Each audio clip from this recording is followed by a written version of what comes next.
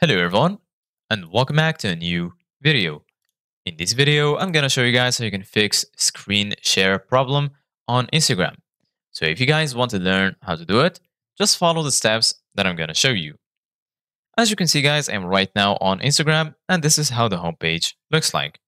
So right here in the bottom, as you can see guys, you're gonna find all of the uh, sections so here you're going to find the home section, search, reels, and lastly right here, you're going to find your profile section.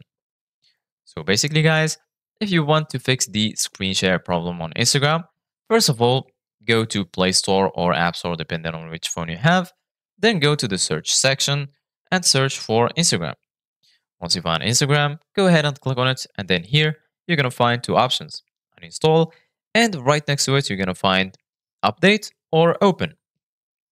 So basically guys, if you find the update button available, this means that Instagram isn't, isn't in the latest version and you need to update your application. So click on update, wait for the update to finish and then go back to Instagram. And this should be enough to fix your problem. If you're still having the same problem, then go to settings on your phone.